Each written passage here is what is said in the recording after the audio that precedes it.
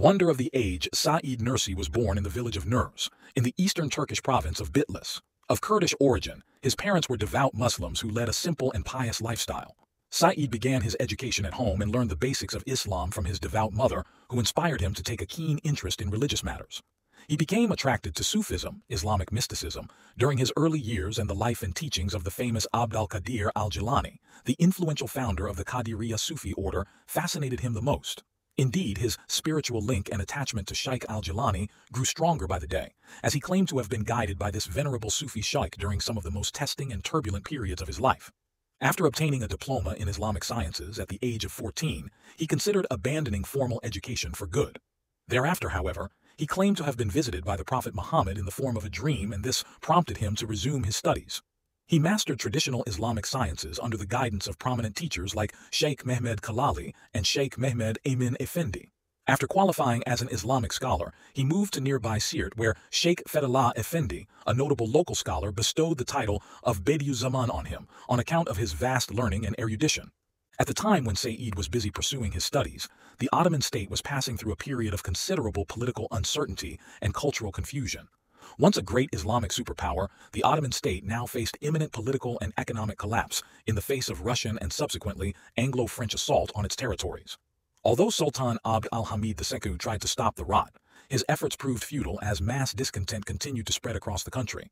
This gave rise to the Young Turks movement which, in turn, led to the removal of the Sultan from the Ottoman throne. The revolution of 1908 may have brought much-needed relief to the masses, but the Young Turks also failed to consolidate their grip on power. Amidst the prevailing chaos, Mustafa Kemal emerged to save his country from European encroachment. The victory of 1922 confirmed his position as the founder and undisputed ruler of the new Turkish Republic. During this period of considerable political uncertainty, social upheaval and economic hardship, Said openly supported the reformists because he wanted his people's socio-economic condition to change for the better. Even so, he opposed the Young Turks' efforts to reconcile Islamic political theory with European constitutionalism. Furthermore, he considered their attempts to compartmentalize education into three separate categories, namely religious mystical, Sufi, and secular, to be both flawed and inconsistent from an Islamic perspective. During this period, he became actively involved in the socio-political affairs of the state, and even participated in the war against the Russians on the Caucasian front. Captured by the Russians, he spent two years as a prisoner of war in Russia. He managed to escape in 1918 and returned to Istanbul via Vienna. His spiritual retreat near the tomb of Abu Ayyub profoundly changed his outlook on life. He then carried out a detailed study of the Quran, the Disclosure of the Unseen of Abd al-Qadir al-Jilani, and the Maktubat, Epistles, of Imam Rabbani, Sheikh Ahmad Sirhindi. As a result, he claimed to have attained the height of Islamic spirituality, as old Said became transformed into new Said. Mustafa Kemal personally invited him to Ankara, the capital of the new Turkish Republic, in order to officially recognize his contribution to the Turkish War of Independence. Short visit to Ankara had confirmed his worst fears. The new Turkish rulers were no better than their predecessors.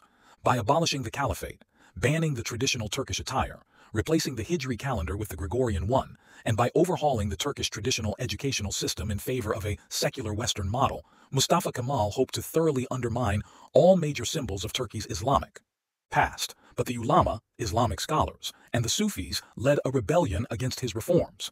He responded by brutally suppressing his opponents. Said became embroiled in this conflict even though he did not play a direct role in the insurrection.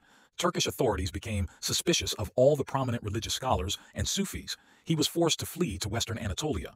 Here, he spent the next 25 years living in exile. By the time of his death at the age of 83, he had tens of thousands of followers across the country.